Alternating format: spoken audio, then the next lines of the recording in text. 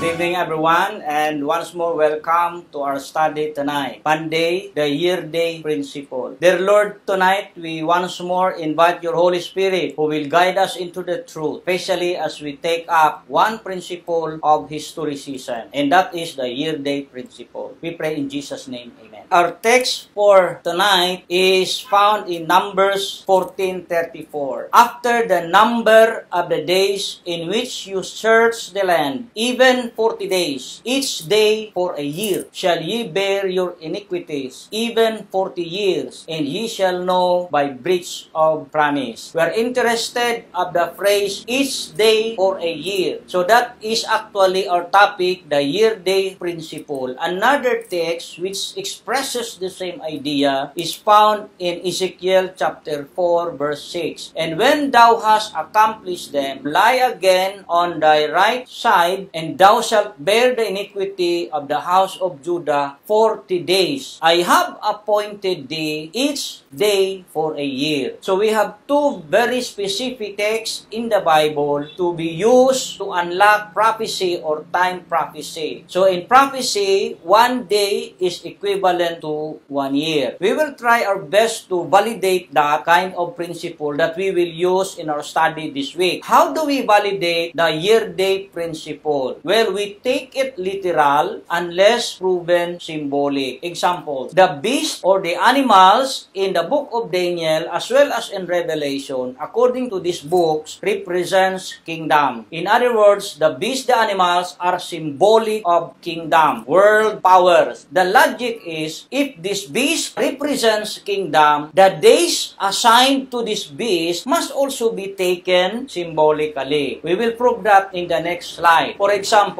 the days that have been assigned to this beast should be equivalent to one year using the verses that we have just read. Now, we will prove it. We will take it and try to take it literal. But if we cannot prove it's literal, then we take it symbolically. Example, the events that are mentioned in this major prophecy, like rebuilding Jerusalem, is actually based on this prophecy. They were given seven weeks to rebuild Jerusalem. Now, let's take it literal. If we can prove it's literal, then we take it literal. But if we cannot prove it's literal, we take it symbolic. But we already have the premise. The animals are symbolic. The time assigned to this must also be symbolic. But let's try it, okay? To be practical, can anyone rebuild a city in just 7 weeks or 49 days? There is no such thing as that. You know, I have observed Ayala has built a city just near Adventist University of the Philippines. I was there when uh, the city down there was built. Took them more than a year to develop it with all the high-tech equipments there and heavy equipment. It took them more than a year to fully complete the city, Paseo City, something like that. But at that time of Daniel, when they returned from Babylonian captivity, they were given seven weeks to rebuild the temple. Now, if we take it literally, then, then we can conclude that Jerusalem was rebuilt only in around 50 days. But it's not true. Since we cannot prove it is literal, we take it symbolically. So, one day is equivalent to one year. So, seven weeks times seven equals 49 days. Since a day is equivalent to one year, so it will be 49 years. So, it is logical and based on history, God's people were able to build Jerusalem for around 50 years or 49 years of building the city of Jerusalem. So the events mentioned in the prophecy would tell us that the days mentioned there is not literal but symbolic. Another event there is the coming Messiah, Jesus Christ. It would take 62 weeks. In, in the middle of the 20th uh, week, the Messiah will be crucified. So it is not only from the time Jerusalem was rebuilt, we cannot use 62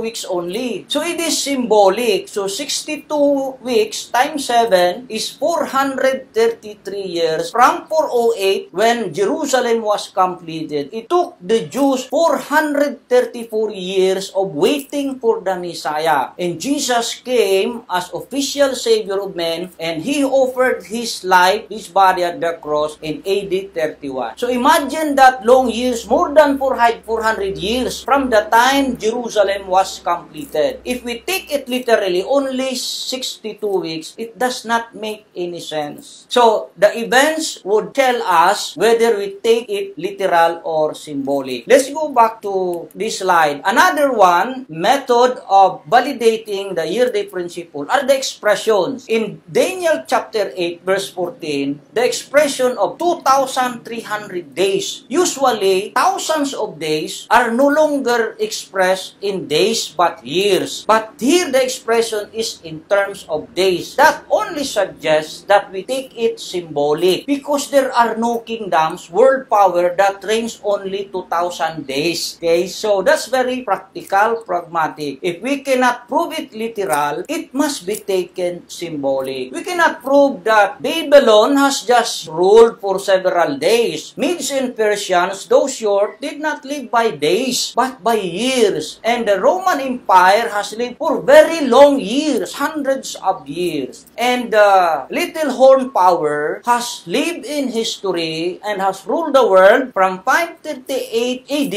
until 1798, a total of 1,260 days. If this is literal days, we cannot, it's, it does not make any sense because the church has ruled the world not for days but thousand of years, 1,260 years from 538 AD to 1798 AD. The preterist has dated it earlier, okay? And the futurist has dated it in the distant future. So the little horn power using the preterist and the futurist method and the combined higher criticism has protected the little horn power there. So these are the warring methods of interpretation. But I hope that the Holy Spirit will guide us so that we may believe the prophecy according to the biblical interpretation, not to the human inventions of preterists, futurists, and higher criticism. Once more, we allow the Bible to interpret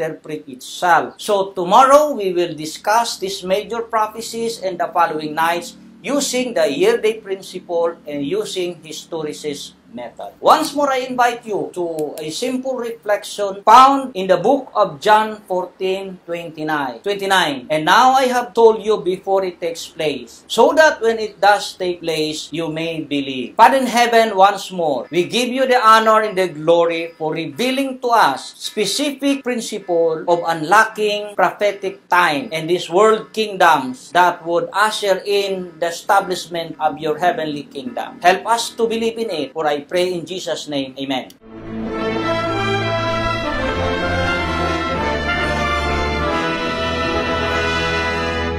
Lift up the trumpet.